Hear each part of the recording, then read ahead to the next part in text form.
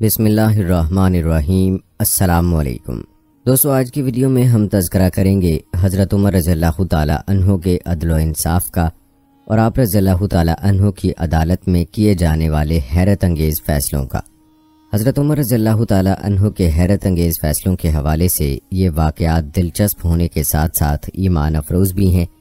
दोस्तों, हज़रत उमर फ़ारूक रज़ल्ला तहों के फ़ैसलों के हवाले से एक अजीब वाक़ यूँ मनकूल है कहते हैं कि यहूदी और एक मुसलमान का आपस में झगड़ा हो गया। यहूदी को अपने हक होने का यकीन था।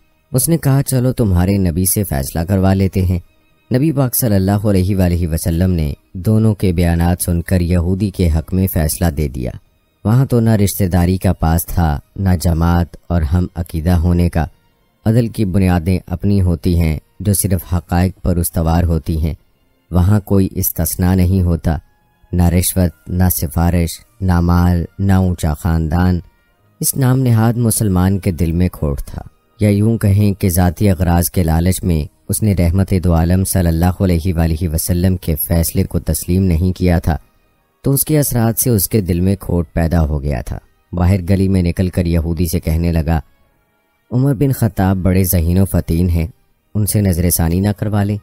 हिदायत तो नसीब से और झोली फैलाने से मिलती है मगर यहूदो नसारा में से अनगिनत लोग ऐसे गुजरे और आज भी हैं, जो हमारे नबी सल्लल्लाहु अलैहि वसल्लम पर ईमान नहीं लाए, मगर हमारे नबी सल्लल्लाहु अलैहि वसल्लम की बातों और उनके आमाल अकवाल और उनके असहाब को हक मानते हैं।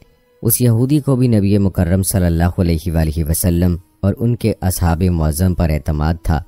उसने सोचा, इब्ने ख़ताब जिसे लिसान मोहम्मद सल्लल्लाहु अलैहि वसल्लम से फ़ारूक आज़म का खिताब मिला है। यकीनन मुझे वहाँ भी इंसाफ ही मिलेगा। उसने कहा, चलो, मैं तैयार हूँ। वो दोनों सईद उमर रज़ल्ला तहों के दरवाजे पर पहुँचे। मुसलमानों ने पहल करके अपना तारुफ कराया और अपना मुकदमा पेश कर दिया। उसका ख्याल था कि सईदना उमर रज़ल्ला तहों मेरा मुसलमान होना सुनेंगे तो वो मेरे हक में फ़ैसला सुना देंगे। यहूदी ने अपना मौक़ बयान करने से पहले यह भी कह दिया कि ए खिताब के बेटे, इस कजिए का फ़ैसला पहले तुम्हारे नबी मेरे हक में कर चुके हैं। सईदना उमर रज़ील्ला उन्होंने मुसलमान से पूछा, क्या ये दुरुस्त कह रहा है? मुसलमान ने कहा, जी हाँ हम नबी पाक सल्लल्लाहु अलैहि वसल्लम के पास हाजिर हुए थे, मगर उन्होंने इस यहूदी को सच्चा कह दिया, इसके हक में फ़ैसला कर दिया। सईदना उमर रज़ील्ला उन्होंने कहा अच्छा ज़रा ठहरो मैं अभी फैसला करता हूँ। घर से जाकर तलवार लाए और उसकी गर्दन उड़ा दी। मुसलमानी के दावेदार के अजीज़ो अकारब ने शोर मचा दिया कि सईदना उमर रज़ल्ला ने एक कलमा गो मुसलमान को कत्ल कर दिया। वो नबी पाक सल्लल्लाहु अलैहि वसल्लम की खिदमत में शिकायत लेकर आए कि उनको बदला दिलवाया जाए। सरापा अदल मोहम्मद रसूल अल्लाह सल्लल्लाहु अलैहि वसल्लम ने इब्ने ख़ताब को अपनी सफ़ाई पेश करने के लिए तलब फरमाया यहाँ इस्तना नहीं था कि उमर बिन ख़ताब को तो मलाय आला में अर्जियाँ पेश करके इज़्ज़त इस्लाम के लिए मांग कर लिया था। जी हाँ दोस्तों, मुराद मुस्तफ़ा को मोहम्मद मुस्तफ़ा सल्लल्लाहु अलैहि वसल्लम ने कोई इस्तना नहीं दिया। शर मोहम्मदी में कोई इस्तना है ही नहीं। लेकिन रब्बिल आला रब मुस्तफ़ा जल्ले जलाला को इब्ने ख़ताब का अदालत के कटहरे में खड़े होना कब गवारा था, जो कोई भी सहमत नबी में खलू से दिल से पहुँचा। जिस किसी को सहाबियत का जरी ताज एक बार सरफराजी दे गया, बस फिर दो जहानों में कामयाब हो गया। इब्ने ख़ताब की आमद चंद कदमों से होने वाली थी, मगर इंसानी फ़हम से बाला फासलों से, यानी अरश मुल्ला से अनमिट फ़ैसला लेकर जब्राइल अमीन से पहले हाजिर दरबार नबी हो गए। या रसूल अल्लाह सल्लल्लाहु अलैहि वसल्लम, उमर सच्चे हैं, वो मकतूल मुनाफिक था। या रसूल अल्लाह सल्लल्लाहु अलैहि वसल्लम आपके रब की कसम, जो बंदा जनाब के फैसले को दिल से तस्लीम नहीं करता, वो मोमिन नहीं, मुनाफिक है। जिसे मोहम्मद रसूलुल्लाह सल्लल्लाहु अलैहि वसल्लम का फ़ैसला मंजूर नहीं, उसका फ़ैसला उम्र की तलवार से होगा। उसे ज़मीन के ऊपर रहने का कोई हक नहीं। अब ना सैदना उमर रज़ी तहों को सफ़ाई और गवाहान सफ़ाई पेश करने की ज़रूरत रही, न ख़ातमनबीन सल्लल्लाहु अलैहि वसल्लम को रिव्यू की। और सईदना उमर रज़ी तहों का फ़ैसला अजली अब्दी किताब इलाही का अनमिट फ़ैसला बन गया। इबन ख़ताब का ये अमल और उस पर आसमानी हुक्म अब हर साल, जब तक माह सयाम की मुबारक रातों में, यानी तरावी में तमाम छोटी बड़ी मसाजिद में अलल ऐलान ना पढ़ाया जाए, अहले ईमान की न तरावी और क़याम लैल कबूल है और न ख़त्म कुरान जीशान। हर हाफिज, हर कारी और हर आल मुफ़िया ता क़यामत कुरानी अल्फाज में फ़ैसला उम्र को दुरुस्त कहता रहेगा। दोस्तों, सच है, कुरान और साहिब कुरान को जिस तरह से असहाब नबी सल्लल्लाहु अलैहि वसल्लम, खसूसन सिद्दीक उमर उस्मान अली रज़ी तहों ने समझा वो ही हक है। आज भी अगर कोई ईमान और इस्लाम का दावेदार रसूलुल्लाह सल्लल्लाहु अलैहि वसल्लम के फ़ैसलों और उनके अहकाम पर लहतो लाल करता है, वो धोखे में है। वो ईमान नहीं, नफाक का हामिल है। या दूसरा मफहूम यह है कि नबी सलाम के अकवाल, आमालो, अहकाम से रूगरदानी उसे नफाक की अंधी खाइयों में गिरा कर रहेगी। और इससे पहले कि रुजू और तौबा का वक्त हाथ से निकल जाए, मोहम्मद और असहाब मोहम्मद रिजवान की राह इख्तियार कर लेनी ज़रूरी है। तारैन की कामयाबी इसी में है, जैसा कि फरमान इलाही है तेरे रब की कसम वो ईमान वाले नहीं हो सकते, जब तक कि वो अपने अंदर के इख्तलाफ और झगड़ों में तुझे हुक्म तस्लीम ना कर लें और तेरे फैसलों को मान ना लें। दोस्तों, हज़रत उमर रज़ील्ला तहों की अदालत का एक और फैसला यूँ मनकूल है। कहते हैं, दो नौजवान सईदना उमर रज़ील्ला तहों की महफिल में दाखिल होते ही महफिल में बैठे एक शख्स के सामने जाकर खड़े हो जाते हैं और उसकी तरफ़ उंगली करके कहते हैं, या उमर ये है वो शख्स। सईदना उमर रज़ील्ला उनसे पूछते हैं, क्या किया है इस शख्स ने? अमीरमिन इसने हमारे बाप को कत्ल किया है। क्या कह रहे हो? इसने तुम्हारे बाप को कत्ल किया है? सईदना उमर रज़ल्ला तहों पूछते हैं। सईदना उमर रज़ल्ला तहों उस शख्स से मुखातिब होकर पूछते हैं, क्या तूने उनके बाप को कत्ल किया है? वो शख्स कहता है हाँ अमीरमिन मुझसे कत्ल हो गया है इनका बाप। किस तरह कत्ल किया है? सईदना उमर रज़ल्ला तहों पूछते हैं, या उमर, इनका बाप अपने ऊँट समेत मेरे खेत में दाखिल हो गया था। मैंने मना किया, बाज नहीं आया तो मैंने एक पत्थर दे मारा तो सीधा उसके सर में लगा और वो मौके पर मर गया। फिर तो कसास देना पड़ेगा, मौत है इसकी सज़ा। सईदना उमर रज़ल्ला तहों कहते हैं, न फैसला लिखने की ज़रूरत और फैसला भी ऐसा अटल के जिस पर किसी बहस व मुबासे की भी गुंजाइश नहीं। ना ही उस शख्स से उसके कुनबे के बारे में कोई सवाल किया गया है, ना ही ये पूछा गया है कि ताल्लुक़ किस कदर शरीफ ख़ानदान से है। ना ही ये पूछने की ज़रूरत महसूस की गई है कि उसका ताल्लुक़ किसी मुआज़ कबीले से तो नहीं। माशरे में क्या रुतबा या मकाम है? इन सब बातों से भला सईदना उमर रज़ल्ला तहों को मतलब ही क्या है? क्योंकि मामला अल्लाह के दीन का हो तो उमर रज़ल्ला तहों पर असरअंदाज नहीं हो सकता। और ना ही कोई अल्लाह की शरीयत की तनफीज के मामले पर उमर रज़ल्ला तहों को रोक सकता है। हत्या के सामने उमर रज़ल्ला तहों का अपना बेटा ही क्यों ना कातिल की हैसियत से आखड़ा हो? कसास तो उससे भी लिया जाएगा। वो शख्स कहता है ए अमीरुल इसके नाम पर जिसके हुक्म से ये ज़मीन व आसमान कायम खड़े हैं, मुझे सहरा में वापस अपनी बीवी बच्चों के पास जाने दीजिए, ताकि मैं उनको बता आऊँ कि मैं कत्ल कर दिया जाऊँगा। उनका अल्लाह और मेरे सिवा कोई आसरा नहीं है। मैं उसके बाद वापस आ जाऊँगा। सईदना उमर रज़ल्ला तु कहते हैं, कौन तेरी ज़मानत देगा कि तू सहरा में जाकर वापस भी आ जाएगा? मजमे पर एक खामोशी छा जाती है। कोई भी तो ऐसा नहीं है जो उसका नाम तक भी जानता हो। उसके कबीले, खैमे या घर वगैरह के बारे में जानने का मामला तो बाद की बात है। कौन जमानत दे उसकी? क्या ये दस दिरहम के उधार या ज़मीन के टुकड़े या किसी ऊँट के सौदे की ज़मानत का मामला है, इधर तो एक गर्दन की ज़मानत देने की बात है, जिसे तलवार से उड़ा दिया जाना है। और कोई ऐसा भी तो नहीं है, जो अल्लाह की शरीयत की तनफीज के मामले पर उमर रज़ी तहों से एतराज़ करे, या फिर उस शख्स की सिफारिश के लिए ही खड़ा हो जाए। और कोई हो भी नहीं सकता, जो सिफारिशी बनने की सोच सके। महफिल में मौजूद सहाबा पर एक खामोशी सी छा गई। इस सूरत हाल से खुद उमर रज़ील्ला तहों भी मुतासर हैं, क्योंकि उस शख्स की हालत ने सबको ही हैरत में डालकर रख दिया है। क्या उस शख्स को वाकई कसास के तौर पर कत्ल कर दिया जाए और उसके बच्चे भूखों मरने के लिए छोड़ दिए जाएँ, या फिर उसको बगैर जमानती के वापस जाने दिया जाए? वापस ना आया तो मकतूल का खून रायगा जाएगा। खुद सईदना उमर रज़ील्ला तहों सर झुकाए अफसरदा बैठे हैं। इस सूरत हाल पर सर उठाकर इल्तजा भरी नज़रों से नौजवान की तरफ़ देखते हैं। माफ़ कर दो इस शख्स को। नहीं, अमीरुल मोमिनीन, जो हमारे बाप को कत्ल करे उसको छोड़ दे। ये तो हो ही नहीं सकता। नौजवान अपना आखिरी फैसला बगैर किसी झिझक के सुना देते हैं।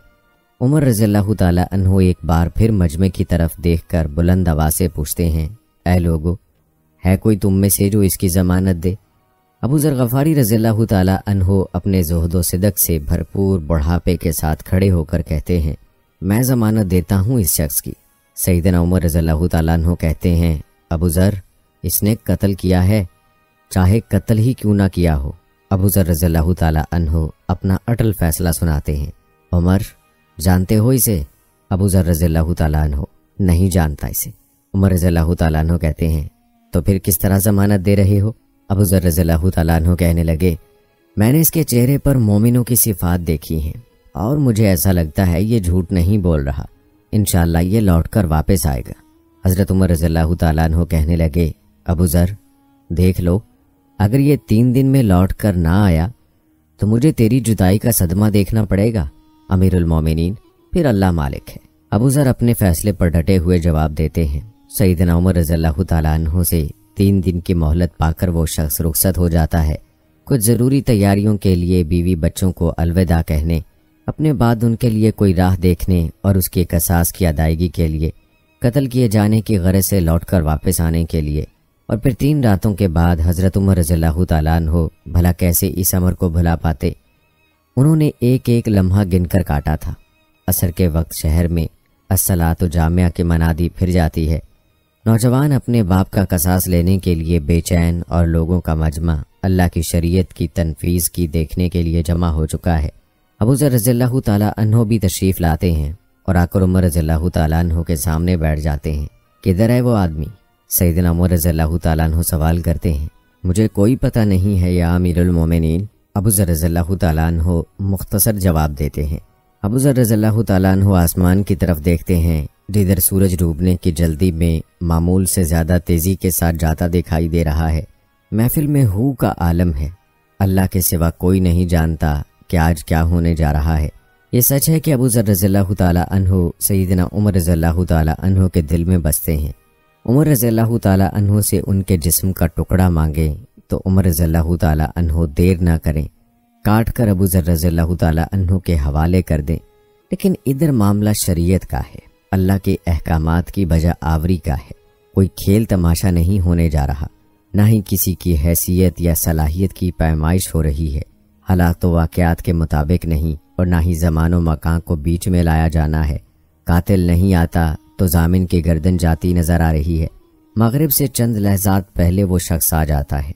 बेसाख्ता हज़रत उमर रज़ील्लाहु ताला के मुँह से अल्लाह अकबर की सदा निकलती है। साथ ही मजमा भी अल्लाह अकबर का एक भरपूर नारा लगाता है। उमर रज़ील्लाहु ताला उस शख्स से मुखातब होकर कहते हैं, ऐ शख्स, अगर तू लौट कर ना भी आता तो हमने तेरा क्या कर लेना था? ना ही कोई तेरा घर जानता था और ना ही कोई तेरा पता जानता था। अमीरुल मोमिनीन, अल्लाह की कसम, बात आपकी नहीं है। बात उस जात की है जो सब ज़ाहिर व पोशीदा के बारे में जानता है। देख लीजिए, मैं आ गया हूँ अपने बच्चों को परिंदों के चूजों की तरह सहरा में तनहा छोड़कर, जिधर ना दरख्त का साया है और ना ही पानी का नामो निशान, मैं कत्ल कर दिए जाने के लिए हाजिर हूँ। मुझे बस ये डर था कि कहीं ये ना कह दे कि अब लोगों में से वादों का इफा ही उठ गया है। सईदना उमर रज़ल्लाहु ताला ने अबू ज़र की तरफ़ रुख करके पूछा, अबू ज़र, तूने किस बिना पर इसकी जमानत दे दी थी?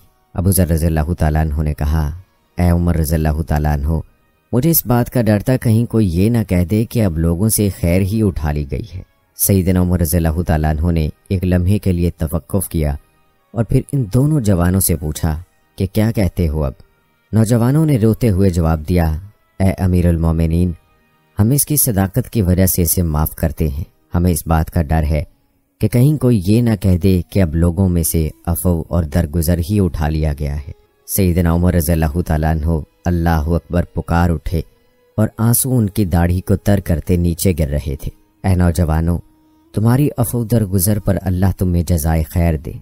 ए अबू हो अल्लाह तुझे इस शख्स की मुसीबत में मदद पर जजाय खैर दे और ए शख्स, अल्लाह तुझे इस वफाई अहदो सदाकत पर जजाय खैर दे और ए अमीरुल मोमिनीन, अल्लाह तुझे तेरे अदल रहम दिली पर जजाय खैर दे। दोस्तों, ये वाक़ हज़रत उमर रज़ील्ला तहों के अदल और आपके फ़ैसलों के हवाले से एक अहम वाक़ है। अलबत् इसके मुस्ंद होने के बारे में फ़ोकहा का ये कहना है कि ये किस्सा हयात साहबा रज़ील्ला तहम के मुतलक लिखी गई मोतमद कुतब या किसी और किताब में नहीं मिलता। अलबत् बाज़ अदबी कुतब में दर्ज है। मसलन मोहम्मद दयाब अतलीदी की किताब नवादरखलफा की इब्तदा में Qazi Sharafuddin Hussain bin Rayan के हवाले मनकूल हैं। और इन दोनों शख्सियात के दरमियान 400 साल का और फिर काजी शरफुद्दीन और साहबा रिजवान के दरमियान 700 बरस का तवील ज़माना हायल है। इसलिए बिला सनद इतने अनका के साथ कबूल नहीं किया जा सकता। मालूम हुआ कि इस वाक़े की सही सनद मौजूद नहीं। दोस्तों, हम आपको सईदना उमर रज़ल्ला तहों के अदल इंसाफ के मज़ीद वाक़ात भी बताएँगे। अलबत् यहाँ आप रज़ल्ला तहों के हसब नसब और लकब के बारे में आपको बताते हैं। आप रज़ल्ला तहों का शजरा नसब यूँ बयान किया गया है। उमर बिन ख़ताब बिन फ़जील बिन अब्दुल्ज़ा बिन रयाह बिन करत बिन रज़ा बिन अदी बिन काब बिन लवी। याद रहे काब पर पहुँच कर यह सिलसिला नसब हज़रत सल्लल्लाहु अलैहि वसल्लम के सिलसिला नसब से मिल जाता है। दोस्तों, हज़रत उमर रज़ल्लाहु तहों की कुनियत अबू हफ्स और लकब फ़ारूक है। इमाम नवी की तहकीक के मुताबिक आपकी विलादत वाक़ फ़ील से तेरह साल बाद हुई। और जैसा कि जाबी ने लिखा है कि उम्र सत्रह साल छः नबी में मुशर्रफ बा इस्लाम हुए। बाद हजरात का कहना है कि हज़रत उमर फ़ारूक रज़ी तहो पाँच नबी में इस्लाम लाए। उस वक्त तक चालीस मर्दों और ग्यारह औरतों ने इस्लाम कबूल किया था। दोस्तों, आपको बताते चलें कि हज़रत उमर रज़ी तहो को फ़ारूक का लकब उस वाक़े के बाद मिला कि एक यहूदी और एक मुनाफिक के दरमियान किसी बात पर झगड़ा हुआ। और तस्वीर के लिए यहूदी ने हज़रत सल्लल्लाहु अलैहि को सालिस बनाने की तजवीज़ रखी। मुनाफिक मुशरकिन कुरैश के इस सरदार काब बिन अशरफ को सालिस बनाने पर मसर था। काफ़ी हिलो हजत के बाद दोनों ने हज़रत अलैहि वसल्लम को सालिस बनाना मान लिया। चुनाचे वो दोनों अपना कजिया लेकर रसूल करीम सल्लल्लाहु अलैहि वसल्लम की खिदमत में हाजिर हुए। हज़रत सल्लल्लाहु अलैहि ने यहूदी के हक में फ़ैसला दिया। क्योंकि उसका हक पर होना साबित था। लेकिन मुनाफिक ने इस फैसले को तस्लीम नहीं किया और कहने लगा कि अब हम उमर को सालिस बनाएँगे। दोस्तों हज़रत उमर रज़ील्ला ने जो फैसला किया, उसका तफसीली वाक़ आप वीडियो के आगाज़ में मुलाहिजा कर चुके हैं। कहते हैं, उस दिन से हज़रत उमर रज़ील्ला का लकब फ़ारूक मशहूर हो गया कि आप रज़ील्ला हक को बातिल में फ़र्क करने वाले हैं। दोस्तों एक और वाक़ आपको सुनाते हैं, ज़रा तवज्जो से मुलाहिजा कीजिएगा। कहते हैं, एक बुज़ुर्ग शख्सियत है जो कमर के बल झुकी हुई है और एक साहब उनकी कमर पर खड़े अपने घर का परनाला लगा रहे हैं। इस मंजर को देखने के लिए लोगों का एक जमे गफीर इकट्ठा हो चुका है, मगर उन बुज़ुर्ग हस्ती के माथे पर शिकन तक नहीं पड़ी, बल्कि नहायत इतमान के साथ उस काम को अंजाम दे रहे हैं। ये बुज़ुर्ग हस्ती कोई मामूली इंसान नहीं, बल्कि अपने दौर में दुनिया के ताकतवर तरीन हुक्मरान हज़रत उमर फ़ारूक रज़ील्ला तहो हैं, जिनकी कमर पर रसूल सल्लल्लाहु वसल्लम के चचा हज़रत अब्बास रज़ील्ला तहो खड़े अपने घर का परनाला लगा रहे थे। वाक़ कुछ यूँ है कि हज़रत अब्बास रज़ील्ला तहो के घर का परनाला मस्जिद नबी से मुतसिल था, जिसके पानी से नमाजियों को तकलीफ़ पहुँचने का अंदेशा था। हज़रत उमर रज़ील्ला तहो ने अपने दौरे खिलाफत में उस परनाले को उखाड़ दिया ताकि लोगों को तकलीफ़ ना हो। हज़रत अब्बास रज़ी तहों को इल्म हुआ तो वो काजी की अदालत में पहुँच गए। और हज़रत उमर रज़ी तहों के ख़िलाफ़ शिकायत की तो काजी ने खलीफा वक्त उमर बिन ख़त्ताब रज़ी तहों को तलब कर लिया। आप रज़ी तहों अदालत में हाजिर हुए तो काजी ने परनाला उखाड़ने की वजह दरियाफ्त की। तो आप रज़ी तहों ने नमाजियों की तकलीफ़ का उज़र बयान किया। जवाब में हज़रत अब्बास रज़ी तहों ने फरमाया कि यह परनाला रसूल अल्लाह सल्लल्लाहु अलैहि वसल्लम ने खुद लगवाया था, जिस पर हज़रत उमर रज़ल्लाहु अनहो रो पड़े और फरमाया कि अगर वाक़ ऐसा है तो फिर मैं कमर के बल झुकता हूँ और आप मेरी कमर पर खड़े होकर परनाला दोबारा लगा दें। चुनाचे ऐसा ही हुआ। अलबत् बाद हज़रत अब्बास रज़ल्लाहु अनहो ने वो मकान मस्जिद की तोसी के लिए वक्फ फरमा दिया था। दोस्तों, ज़रा तस्वुर करें कि ये हाल है अमीरुल मोमिनीन का खलीफा वक्त। के कमर पर झुके हुए हैं। यहाँ हम अपने बारे में सोचें तो हम में से कोई अदना शख्स भी इस बात के लिए तैयार ना होगा। लेकिन ये थी सहाबा की, कि वो किसी भी मामले में अपनी अना को हायल नहीं होने देते थे। दोस्तों, याद रहे कि हज़रत उमर रज़ील्ला अनहो अदलो इंसाफ में यकता हैं, जिनकी नज़ीर तारीख़ इंसानियत में नहीं मिलती। आप रज़ील्ला अनहो ने अदलो इंसाफ कायम करते हुए कभी किसी के अहदे, मरतबे या दौलत व शहलत को खातर में नहीं लाया और हमें इंसाफ फरमाया है, जिसके मुतद वाक़ात हमें तारीख़ सीरत की मुस्ंद किताबों में मिलते हैं। फतूह शाम में एक वाक़ नकल किया गया है कि मुल्क गसान का बादशाह जबला बिन अहम अपने चंद साथियों के साथ हज़रत उमर रज़ल्लाहु तहों की खिदमत में हाजिर होकर मुसलमान हो गया। चंद रोज़ के बाद हज़रत उमर रज़ल्लाहु तहों हज के इरादे से निकले तो जिबला भी उस काफिले में शामिल हो गया। एक दिन मक्का मुकरमा में तवाफ़ करते हुए किसी देहाती मुसलमान का पाँव उसकी चादर पर आ गया और चादर कंधे से सरक गई। अब था तो वो बादशाह और शाही गरूर और घुमंड अभी उतरा नहीं था। लिहाजा उसी देहाती पर सख्त गुस्सा आया और देहाती से पूछा कि तुमने मेरी चादर पर पाँव क्यों रखा? देहाती मुसलमान ने जवाब दिया कि ऐसा गलती से हो गया है। जिबला ने इस ज़ोर से उस मुसलमान के चेहरे पर थप्पड़ मारा कि उनकी नाक और दांत जख्मी हो गए। वो देहाती मुसलमान हज़रत उमर रज़ल्लाहु ताला की खिदमत में हाजिर हुए और किस्सा सुनाया तो आप रज़ल्लाहु ताला ने जिबला बिन अहम को तलब किया और वाक़े की हकीकत दरियाफ्त की, जिस पर जिबला ने कहा कि अगर मैं हरम में ना होता तो उसे इस गुस्ताखी पर कत्ल कर देता। हज़रत उमर रज़ल्ला ने फरमाया कि तुम अपनी गलती का एतराफ़ कर चुके हो। अब तुम देहाती से माफ़ी मांगो या कसास के लिए तैयार हो जाओ। जिबला ने कहा, आप एक गरीब देहाती के लिए मुझसे कसास लेंगे। आप रज़ल्ला ने फरमाया, इस्लाम कबूल करने के बाद हकूक में तुम दोनों बराबर हो। इस पर जिबला ने गुजारिश की कि मुझे एक दिन की मोहलत दी जाए। देहाती की इजाज़त से उसे मोहलत दी गई, लेकिन वो रातों रात वापस गजान की तरफ़ भाग गया और ईसाई मज़हब इख्तियार कर लिया। दोस्तों, ये हज़रत उमर रज़ील्ला तहों की ही अदालत थी। जिसमें एक गरीब गुमनाम देहाती को भरे दरबार में किसी मुल्क के बादशाह के चेहरे पर जोरदार थप्पड़ मारने का हक हासिल था। इसकी मिसाल न पहले कभी मिली और न बाद में। ये फ़ारूक आज़म रज़ील्ला तहों ही हैं, जिन्होंने दुनिया को अमली तौर पर अदल इंसाफ के मफहम समझाए। याद रहे कि आप रज़ल्लाहु ताला अन्हो अपनी ज़ात को भी किसी दूसरे पर तरजीह देना पसंद नहीं करते थे और अदालत में बनफ से नफीस पेश हो जाते थे। जिस तरह दावा करने वाले के साथ सलूक किया जाता है, इसी तरह खलीफा वक्त, आदि दुनिया के हुक्मरान, हज़रत उमर रज़ल्लाहु अन्हो के साथ भी सलूक होता था। अगर कोई अदालत में आपकी तज़ीम व तकरीम की ज़रा बराबर कोशिश करता तो आप रज़ल्लाहु अनहो उसे नापसंद फरमाते और वहीं उसकी सरजनश होती। कहते हैं, एक मरतबा हज़रत उबी बिन काब रज़ल्लाहु अनहो ने हज़रत जैद बिन साबित रज़ल्लाहु अनहो, जो काजी के फ़राइज सर अंजाम देते थे उनकी अदालत में हज़रत उमर रज़ल्लाहु अनहो के ख़िलाफ़ मुकदमा कर दिया। आप रज़ल्लाहु अनहो जब अदालत में पेश हुए तो हज़रत जैद बिन साबित रज़ल्लाहु अनहो ने आपको तकरीबन अपने करीब इज़्ज़त से बिठाना चाहा। तो आप रज़ल्ला ने फरमाया, पहले जुल्म तो तुमने ये किया, मैं अपने फरीक के साथ ही बैठूँगा। चुनाचे आप अबी बिन काब रज़ल्ला के साथ बैठे रहे। फिर हज़रत जैद ने उबी बिन काब रज़ल्ला से अपने दावे पर गवाह पेश करने को कहा, लेकिन वो गवाह पेश ना कर सके। तो जबते के मुताबिक हज़रत उमर रज़ल्ला पर कसम बनती थी। तो हज़रत जैद रज़ल्ला ने उबी बिन काब रज़ल्ला से कहा कि आप अमीरुल मोमिनीन से कसम लेने से दरगुजर करें। तो हज़रत उमर रज़ल्लाहु ताला उन्होंने कसम खाई और फरमाया कि जैद उस वक्त तक मनसब कज़ा का अहल नहीं हो सकता। जब तक उमर और एक आम शख्स उसके नज़दीक बराबर नहीं हो जाते। दोस्तों, आप रज़ल्लाहु ताला की ज़िंदगी में ऐसे बीसियों वाक़ात हैं जो कि अदल इंसाफ पर मबनी हैं। आपने इंसानियत को अदल इंसाफ की ऐसी मेराज दिखाई जिसने इंसानियत को दंग कर दिया और बाद में आने वाले इंसान उनके करीब तर भी ना पहुँच पाए। आप रज़ल्लाहु ताला के अदल का चर्चा ताक़यामत रहेगा।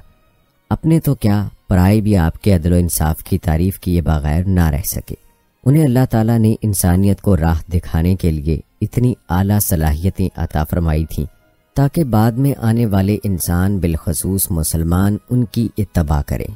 दोस्तों, एक वो हस्तियाँ थीं जिनके हम नाम लेवा हैं कि उनके अदलो इंसाफ पर गैर मुस्लिम और जानी दुश्मन भी रश करते थे, और एक हम हैं कि हमारा निज़ाम अदलो इंसाफ देख कर गैर मुस्लिम भी शर्मा जाते हैं।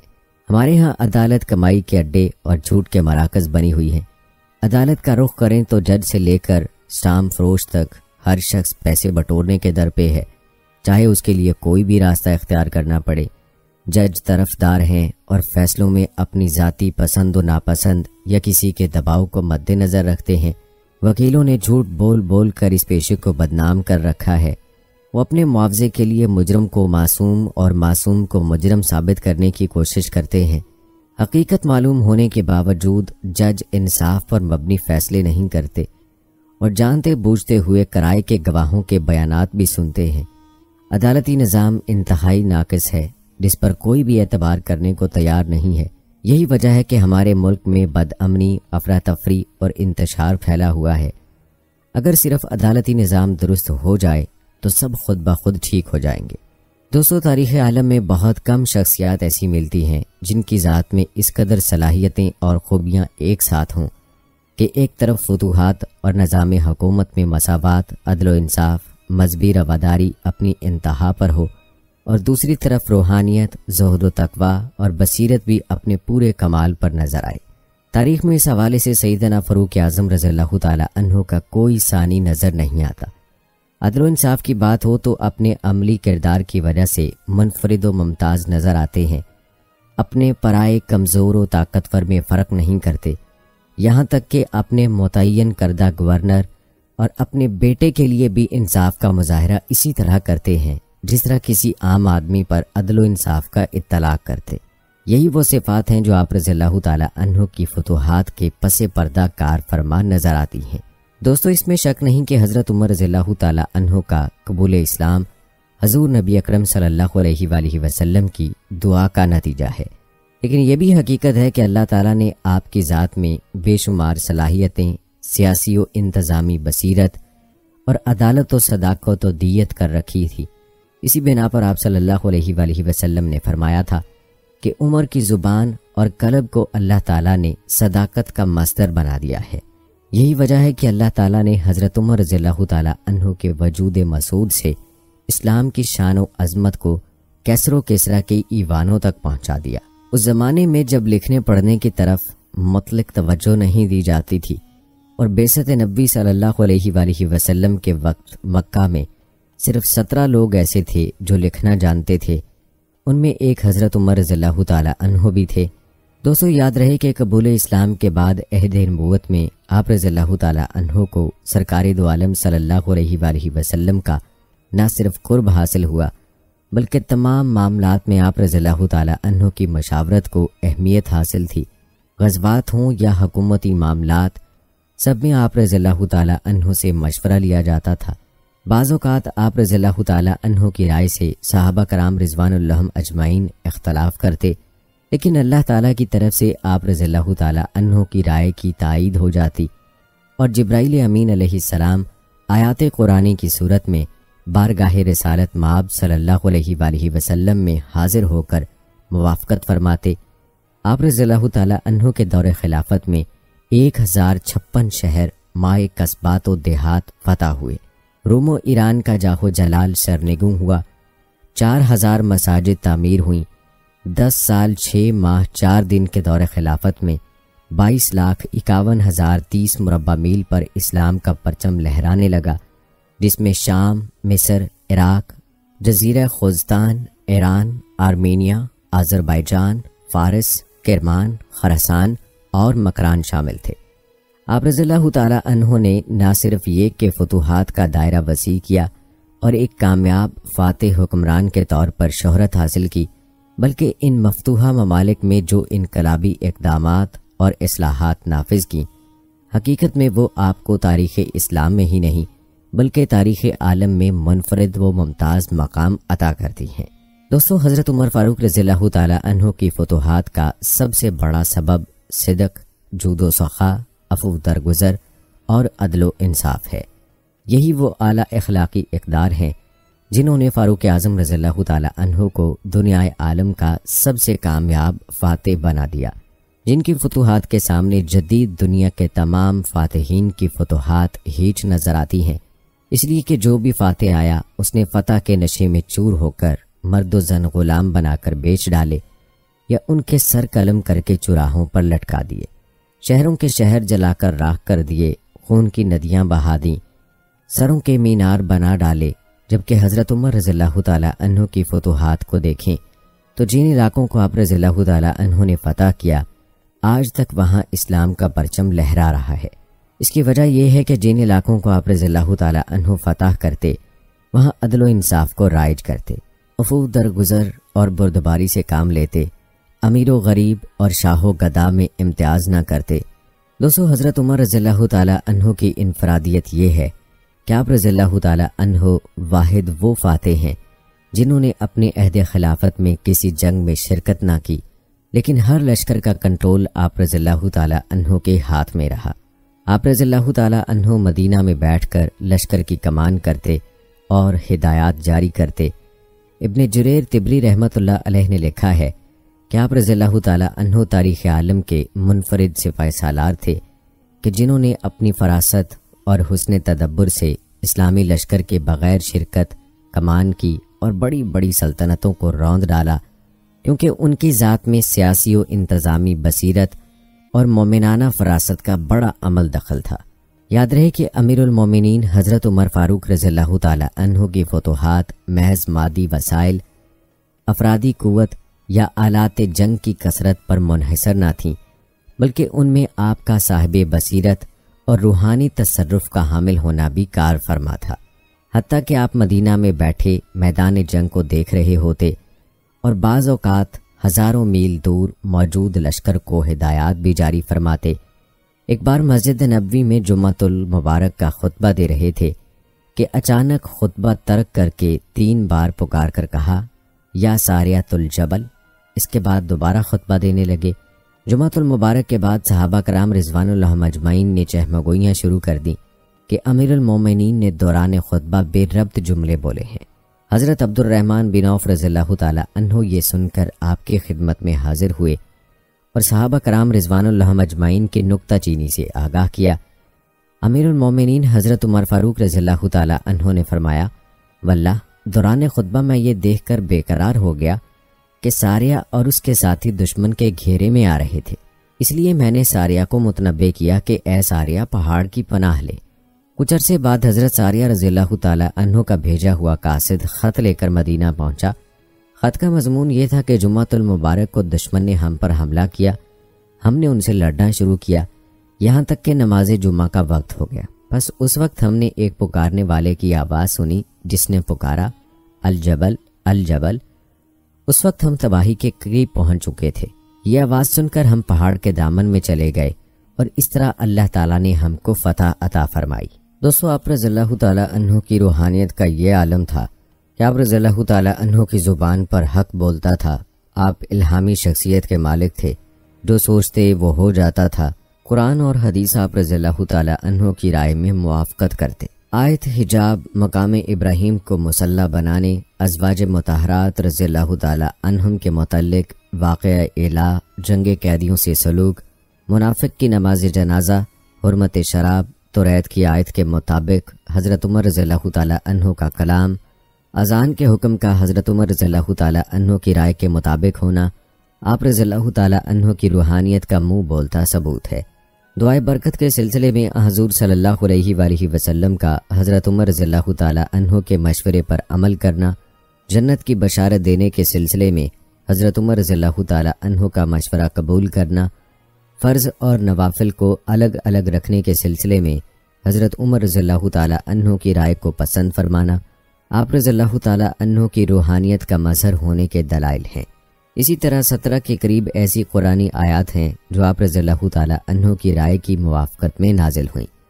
हजूर सल्लल्लाहु अलैहि वसल्लम फरमाया करते, बेशक उमर की ज़ुबान पर हक बोलता है। बेशक तुमसे पहली कौमों में मुहदसिन हुआ करते थे और मेरी उम्मत के मुहदस उमर रज़ल्लाहु ताला हैं। इसी तरह हज़रत अली रज़ल्लाहु ताला फरमाया करते कि उमर रज़ील्लाहु अन्हो की ज़ुबान पर सकीना बोलता है। रिवायत बताती हैं कि हज़रत उमर रज़ील्लाहु ताला लश्कर को जंग के लिए रवाना करते वक्त अमीर लश्कर और मुजाहिदीन को अखवत व मोहब्बत, सब्र तहमुल और फतेह की सूरत में अफू दरगुजर की तलकिन फरमाते।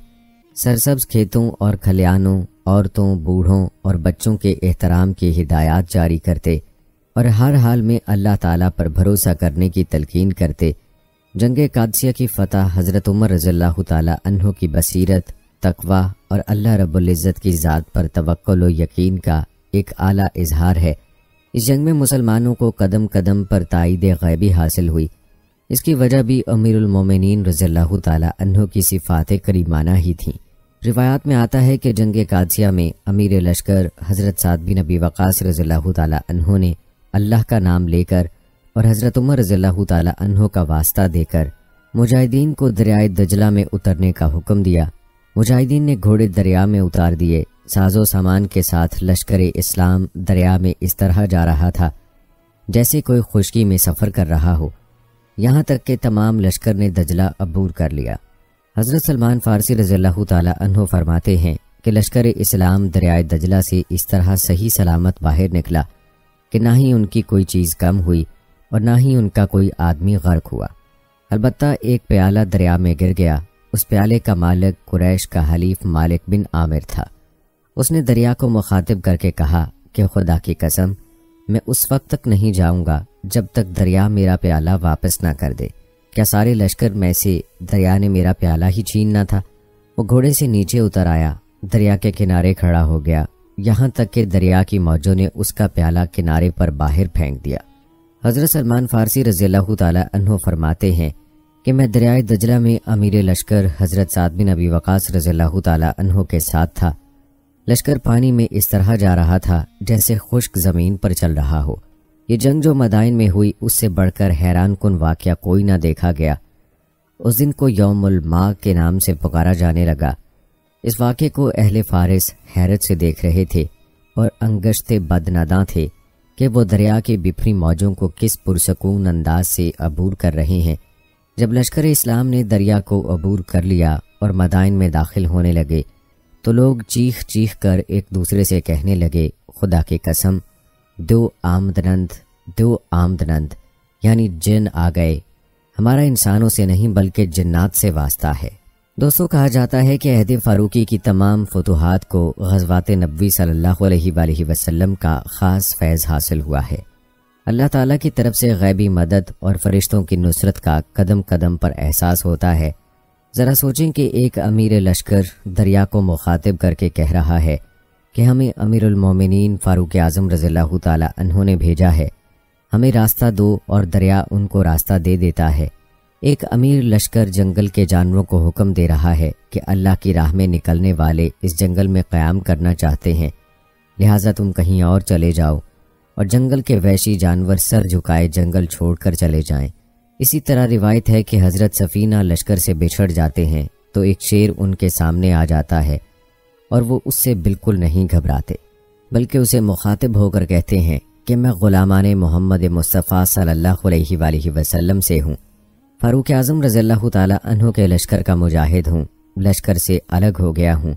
मुझे मेरे लश्कर तक पहुँचा दो। जंगली शेर सर झुकाता है। आप रज़ल्ला तहों उस पर सवार होते हैं और मुजाहिदीन की छावनी तक पहुँच जाते हैं। दोस्तों, ऐसी मिसालें फ़कत हमें अहद फ़ारूकी में ही नज़र आती हैं। दोस्तों, हज़रत उमर फ़ारूक रज़ल्ला तहों ने शरीयत को सिर्फ़ अल्लाह के बंदों पर नहीं, बल्कि तमाम मखलूक पर नाफिज कर दिया है। इसकी एक मिसाल मिस्र के दरियाए नील की है। मिस्र की फतह के बाद हज़रत अमर बिनास रज़ल्लाहु अनहो वहाँ के वाली मुकर हुए। अहले मिस्र आपके खिदमत में हाजिर हुए। और दरियाए नील के बारे में शिकायत की कि ये हर साल नौजवान लड़की की कुर्बानी लेकर चलता है। हज़रत अमर बिनास रज़ल्लाहु अनहो ने तमाम रुदाद अमीरमिन हज़रत उमर फ़ारूक आज़म रज़ल्लाहु अनहो को लेकर भेज दी। आप रज़ल्ला ने तमाम वाक़ पढ़कर दरियाए नील के नाम एक ख़त लिखा और वफद के हवाले करके फरमाया कि अमर बिनास रज़ल्ला तहों को दे देना और उसे कहना, ये दरियाए नील में फेंक दे। ख़त में आप रज़ल्ला तहों ने लिखा, अल्लाह के बंदे उम्र, अमीरुल की तरफ़ से अहले मिसर के नील के नाम। अम्मा बाद, अगर तू अपनी जानब और मर्ज़ी से चलता था तो आइंदा ना चलना। हमें तुम्हारी ज़रूरत नहीं। अगर तू खुदाए वाहिद व कहार के हुक्म से चलता है तो वो तुझे रवा रखेगा। और हम अल्लाह ताला से दुआ करते हैं कि वो तुझे रवा रखे। हज़रत अमर बिन आस रज़ल्ला तहों ने आप रज़ल्ला तहों का ख़त दरियाए नील में फेंक दिया। अहले मिसर ने देखा कि दरियाए नील का पानी सोलह हाथ तक बुलंद हो गया और ऐसा रवा हुआ कि आज तक इसी अंदाज से रवा है। दोस्तों, हज़रत उमर फ़ारूक रज़ील्ला ने सादिर होने वाले ये तमाम वाक़ात व करामात, दरअसल आप रज़ील्ला तहों की रूहानियत अलवैत और इतबा रसूल अलैहि वसल्लम का नतीजा है। हम बात कर रहे थे हज़रत उमर फ़ारूक रज़ील्ला तहों के अदल की। याद रहे कि हज़रत उमर फ़ारूक रज़ील्ला तहों का पैकर अदल इंसाफ होना आपको बड़े बड़े हुक्मरानों से मुमताज़ मुबीन करता है। इसी अदलो इंसाफ की वजह से साढ़े बाईस लाख मुरबा मील से जायद इलाके पर आप रज़ल्ला तहों के खिलाफत अपने तमाम तर तकाज़ों के साथ मौजूद रही और रियाया ने आपके तमाम अहकाम को दिलो जान से कबूल किया। आप अदलो इंसाफ का इतलाक़ बिला इम्तियाज़ और बिला झिझक यकसा तौर पर हर एक पर करते। खा आपका अपना बेटा अबू शाहमा या कदामा बिन मजून ही क्यों ना हो? जब उन्होंने जुर्म का एरतकाब किया तो आपने खुद उन्हें अस्सी कोड़े मारे। आप रज़ील्ला तहों के अहद खिलाफत में अदालत का महकमा बाकायदा कायम हुआ। हकूमती निज़ाम को अहसन तरीके से चलाने और अदल इंसाफ कायम करने के लिए आप रज़ील्ला तहों ने अदालती अमूर को हकूमती अमूर से अलग कर दिया। जजेस की तकर्रियाँ मेरिट पर करने और तमाम फैसले आज़ादाना हैसियत में कुरान हदीस के मुताबिक करने के बाकायदा अहकाम जारी फरमाए। रिवायत बताती हैं कि आप रज़ील्ला तहों अपने मुकर करदा गवर्नर्स, वालियों और जजेस पर सख्त गिरफ्त फरमाते। उनकी कारकर्दगी के जायजे के लिए हज़रत मोहम्मद बिन मुसलमा रज़ील्ला तहों को मुकर कर रखा था, जहाँ कहीं से शिकायत मिलती या कहीं बेनसाफ़ी का गुमान होता। फ़ौरन गिरफ्त फरमाते। सैफुल्ला हज़रत खालिद बिन वलीद, फ़ातह कादसिया हज़रत साद बिन अबी वक़ास रज़ल्ला तहो और हज़रत अमीर मुआविया रज़ल्ला तहो जैसे किबार सहाबा को माजूल करने से भी दरेग ना करते। गवर्नरों की तकर्री करते वक्त उनसे हलफ लेते कि तुर्की घोड़े पर सवार ना होना बारीक कपड़े ना पहनना, छना हुआ आटा ना खाना, दरवाजे पर दरबान ना रखना, हाजतमंदों के लिए हर वक्त दरवाजे खुले रखना। कहते हैं कि एक मरतबा ऐसा हुआ कि सूबों के तमाम गवर्नरों को आप रज़ील्ला ने एक मकाम पर इकट्ठा किया। हज़रत अबू बैदा बिन जरा हज़रत सलमान फ़ारसी, हज़रत साद बिन अबी वक़ास, हज़रत हुजैफ़ा बिन यमान, हज़रत अमर बिन आस, हज़रत अबू मूसा अशरी, हज़रत उत्बा बिन गजवान, हज़रत उस्मान बिन आस, याला बिन उमैया, नौमान, अमर बिन सईद, मुसन्ना बिन हारसा अताब बिन असैद रज़ील्ला तहुम जैसे मुतकी परहेजगार और खौफ खुदा रखने वाले तमाम गवर्नर सामने मौजूद थे। उन्हें इस तरह मुखातिब होकर नसीहत फरमाई, खबरदार, मैंने तुम्हें अमीर और सख्तगीर बनाकर नहीं भेजा, बल्कि इमाम बनाकर भेजा है, ताकि लोग तुमसे हिदायत पाएँ। अवाम के हकूक अदा करो और उन पर बेजा सख्ती ना करो कि वो ज़िल्लत महसूस करने लगें और ना बिला वजह नरमी करो कि वो गलत फहमी का शिकार हो जाएँ। अपने दरवाजे उन पर बंद ना करना कि ताकतवर कमज़ोर को सताने लगें और ना ही उनसे किसी बात में अपने आप को बरतर समझो, क्योंकि यह जुल्म के मुतरदफ है। दोस्तों, इसी तरह की एक रिवायत है। कहते हैं, एक दफ़ा हज़रत अमर बिन आस रज़ील्ला तहो वाली मिसर के बेटे मोहम्मद बिन अमर ने एक मिस्री को कोड़े मारे और कहा कि मैं बड़ों की औलाद हूँ। हज़रत अमर बिन आस रज़ील्ला तहो ने उस मिस्री बदवी को कैद कर दिया कि कहीं अमीरमिन हज़रत उमर रज़ील्ला तहों को शिकायत न कर दे। एक अरसे के बाद जब मिस्री कैद से रिहा हुआ तो मदीने में हज़रत उमर रज़ील्ला तहों के पास पहुँचा और अपने साथ होने वाली ज्यादती की शिकायत की। हज़रत उमर रज़ील्ला तहों ने उसे अपने पास ठहराया और हज़रत अमर बिन आस रज़ील्ला तहों और उनके बेटे मोहम्मद बिन अमर को मदीना बुलवा भेजा।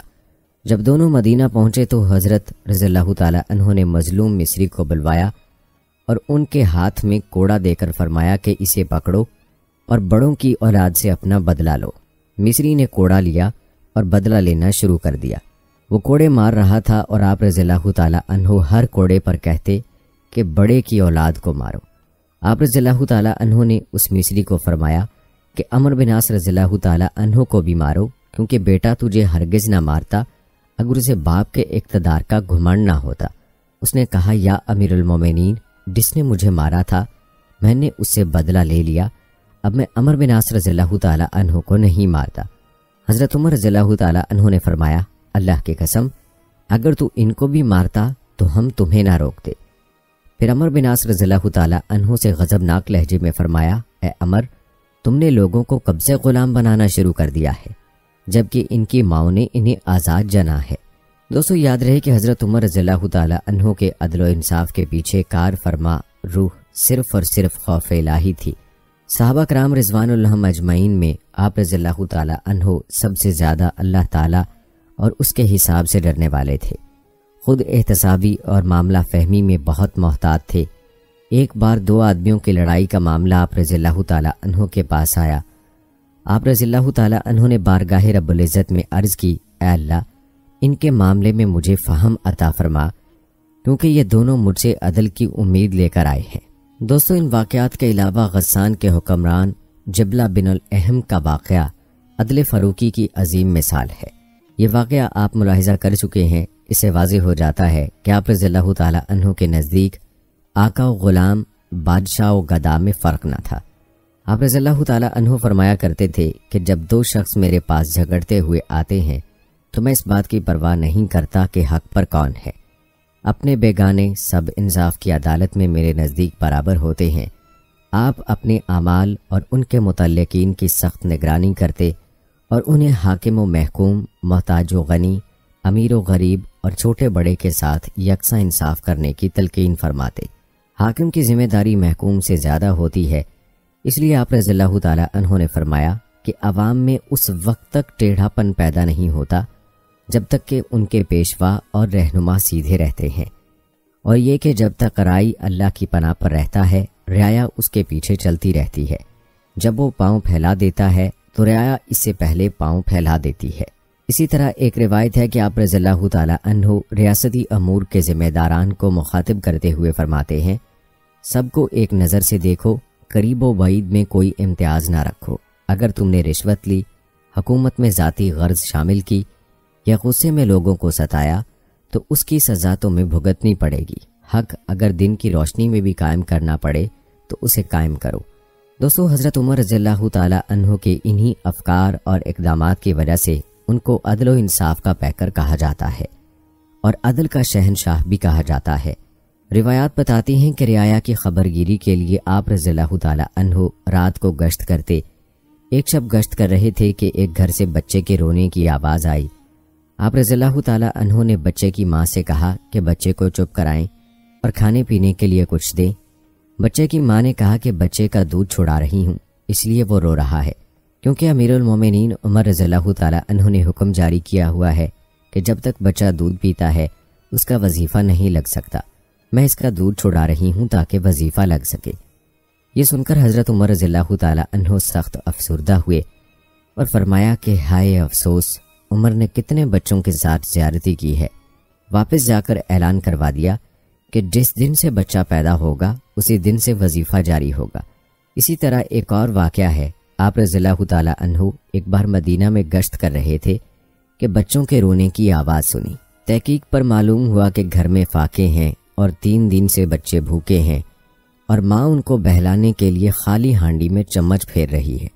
आप रज़ील्लाहु अनहु फ़ौरन वापस आए, बैतुल माल से आटा, घी, गोश्त और खजूरें ली और अपनी पीठ पर उठाकर खुद उनके घर पहुँचे और औरत से कहा कि खाना पकाकर बच्चों को खिलाओ।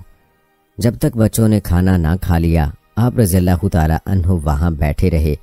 औरत इस हुस्न सलूक से बहुत मुतासर हुई। और कहा कि अमीरुल मोमिनीन होने के मुस्तक आप हैं, ना के उमर। एक और वाक़ है, कहते हैं, आप रज़ील्लाहु ताला अनहु एक बार मुल्क शाम के सफ़र पर थे। एक खैमा देखकर आप रज़ील्लाहु ताला अनहो रुके और एक बुढ़िया से उसका हाल पूछा कि अमीरुल मोमिनीन उमर रज़ील्लाहु ताला के बारे में आपका क्या ख्याल है? बुढ़िया ने कहा, मुझे उसके हाथ से आज तक कुछ नहीं मिला। आप रज़ील्लाहु ताला ने फरमाया कि आप इतनी दूर वीराने में रहती हैं? उमर को आपके हाल का क्या इल्म? बुढ़िया ने जवाब दिया, अगर हम जैसे लोगों का हाल मालूम नहीं तो खिलाफत क्यों कर रहा है? ये सब सुनकर आप रो पड़े। रिवायात बताती हैं कि आप रजील्ला तहो रियाया की तकलीफ़ पर बहुत परेशान हो जाते। अठारह हिजरी में जब अरब में कहत पड़ा तो आप रजील्ला तहो ने गोश्त, मछली और तमाम लजाइज अपने लिए तर्क कर दिए। बैतुल माल का तमाम माल मुतासरीन में तकसीम कर दिया और बार बार बतौर इनकसारी कहते कि ऐसा मेरी शामत अमाल की वजह से है। फिर आप रज़ल्ला उन्होंने सूबा जात के तमाम गवर्नर्स को लिखा कि गल्ला खाने पीने की अशिया और लिबास भेजें। हज़रत अबू बैदा बिन जराह रज़ल्ला उन्होंने शाम से एक हज़ार ऊँट, हज़रत अमर बिन आस रज़ल्ला उन्होंने मिस्र से बीस जहाज़ गल्ला भेजा। हज़रत जैद बिन साबित रज़ल्ला ने कहर ज़दा लोगों की फहरिस्त बनाई और तमाम मुतासरीन में तकसीम किया और जब तक वो इस मुसीबत से ना निकले, उनकी मदद जारी रखी। दोस्तों, कहते हैं कि आप रज़ल्ला तहों के जहद व इबादत, तकवा तहारत और इल्म फजल की हज़रत अली रज़ल्ला तहों बहुत तारीफ़ करते और फरमाया करते कि उमर जब भी अल्लाह से माँगता है, अल्लाह उसको रद्द नहीं फरमाता। मतलब ये कि हज़रत उमर रज़ल्ला तहों मुस्तजाबुद्दावात थे। वाकदी लिखते हैं कि अब्दुल्ला बिन करत हज़रत अली रज़ल्ला तहों की खिदमत में हाजिर हुए और अर्ज़ की कि मैं यरमूक की जंग में शिरकत के लिए जा रहा हूँ।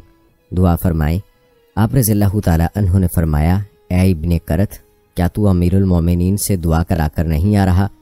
क्या तुझे इल्म नहीं कि उमर की दुआ अल्लाह की बारगाह में कभी रद्द नहीं होती? और ना ही उनकी दुआ के दरमियान कोई हिजाब हाइल होता है। क्या तू नहीं जानता कि रसूल अकरम वसल्लम ने यह फरमाया है कि अगर मेरे बाद कोई नबी होता तो वो उम्र होता? क्या कुरान ने उनकी राय की मवाफ़त नहीं की? क्या हजूर नबी अकरम सल्लल्लाहु अलैहि वसल्लम ने यह नहीं फरमाया कि अगर आसमान से अजाब नाजिल हो तो उमर बिन ख़ताब रज़ल्लाहु ताला के सिवा कोई ना बचता? ए इब्न करत, क्या तेरे इलम में ये बात नहीं है कि आयात व बैनात का नजूल उनके हक में हुआ है। इस ज़मीन पर वो आबिद, जाहिद और मतकी शख्स हैं। और क्या वो हज़रत नूह अलैहिस्सलाम पैगंबर के मुशाबे नहीं हैं? क्या वो सल्फ़ सालहीन के मुतबा नहीं हैं? क्या वो मरतबा कबूलियत रजामंदी तक नहीं पहुँचे? ऐब ने करत, अगर उमर रज़ील्ला ने तेरे लिए दुआ कर दी है तो वो बारगाह रब्बुल्ज़त में ज़रूर कबूल होगी। दोस्तों, इस रिवायत से मालूम हुआ कि हज़रत अली रज़ील्ला तहों को, उमर रज़ील्ला तहों के मुस्तजाबुद्दावात होने का पूरा यकीन था। और क्यों ना होता कि उन्होंने उमर रज़ल्ला की मतद खूबियाँ बयान भी फरमा दी, जो उनको हासिल थी। दोस्तों, ये था तस्करा हज़रत उमर रज़ल्ला के औसाफ का और आप रज़ल्ला के अदल इंसाफ का। चंद मजीद वाक़ात भी आपके गोश गुजार करते हैं। रिवायात में एक वाक़ यूँ बयान हुआ है कि सकीफ़ा बनी सादा में साहबा कराम रिजवान अजमाइन और ख़ासवाम मुसलमानों का इज्तम है। हज़रत उमर रज़ल्ला तहो और हज़रत अबू बकर रज़ल्ला तहो भी मौजूद हैं, मगर ये लोग अपनी ख्वाहिश से नहीं आए हैं, बल्कि हालात की नज़ाकत और मुसलमानों की खैर खाही उनको यहाँ लाई है। हज़रत उस्मान रज़ल्ला तहो और हज़रत अब्दुलरहमान बिन औफ रज़ल्ला तहो भी मौजूद हैं रसूल करीम सल्लल्लाहु अलैहि वसल्लम इस दुनिया से तशरीफ़ ले जा चुके हैं, मगर उनकी तरहीज़ व तदफीन से कबल ही खिलाफत का मसला छिड़ गया है। तीन करोड़ खिलाफत के दावेदार हैं एक महाजर, दूसरे अंसार और तीसरे बनी हाशिम। सकीफ़ा बनी सादा में अंसार का इज्तम हुआ तो महाजरीन भी इस गर्ज से वहाँ जा पहुँचे। हज़रत अली रज़ील्ला तहो और दीगर बनी हाशिम हज़रत फ़ातमा रज़ील्ला तहो के मकान पर जमा होकर खिलाफत के मुतालिक मशवरे कर रहे हैं। अंसार के सरकर्दा साद बिन इबादा रज़ील्ला तहो हैं और ये अपनी खिलाफत की फ़िक्र में हैं। और हकीकत यह है कि इंसार ने मसला खिलाफत छेड़कर गोया हालात नाजुक से नाजुक तर कर दिए हैं। फिर मसला ये कि खुद अंसार दो ग्रोहों में मुनकसम हो चुके हैं। बनी हाशिम हज़रत अली रज़ील्ला तहों के सिवा और किसी की खिलाफत पसंद नहीं करते और साफ़ कह चुके हैं इन हालात में यह मसला नहायत अहम बन चुका है।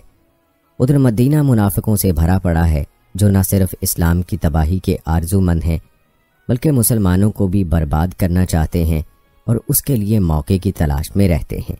इसलिए हज़रत उमर रज़ल्ला तहो और उनके रफ़ा ने मसला खिलाफत को रसूल अल्लाह सल्लल्लाहु अलैहि वसल्लम की तदफीन से भी मुकदम समझा, ताकि मुसलमान आपस के फसाद से महफूज रह सकें।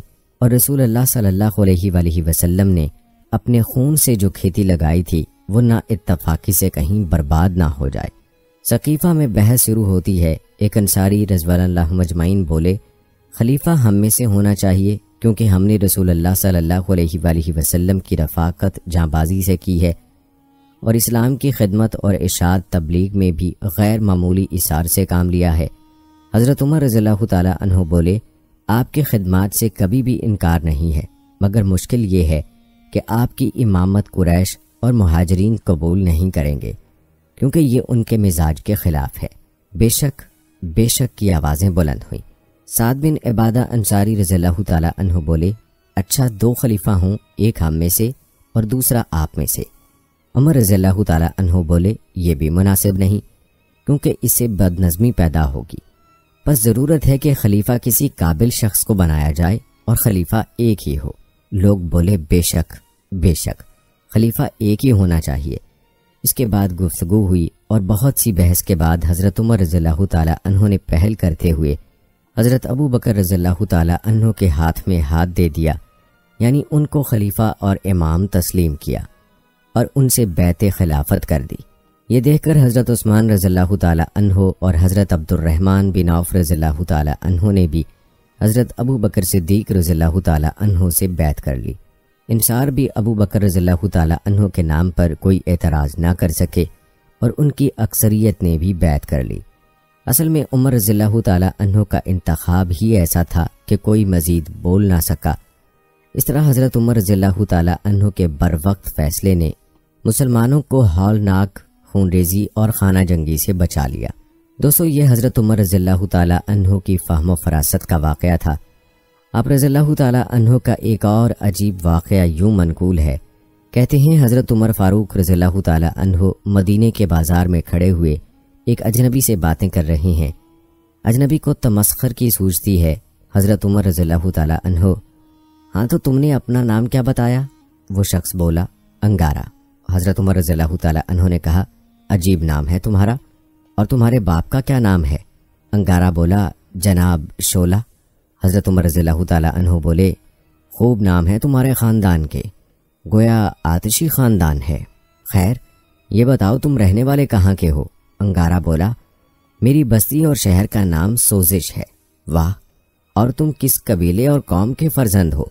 ए अजनबी, खुदा ताला तुम्हारा भला करे। अंगारा बोला मैं जलन कौम का एक फर्द हूँ। उमर रजल्ला तहो कहने लगे, अरे गजब हुआ।